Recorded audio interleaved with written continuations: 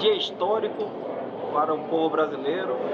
aprovada a MP 1076 aqui na Câmara dos Deputados, instituiu o Auxílio Brasil. E no dia de hoje, com o apoio do presidente da Casa, Arthur Lira, dos líderes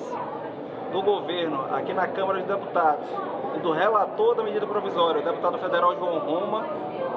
é com muita alegria e satisfação que comunicamos que o benefício extraordinário ele torna-se permanente, resultando na iniciativa do governo federal e trazendo o Auxílio Brasil como o maior programa de transferência de renda da história da nação brasileira.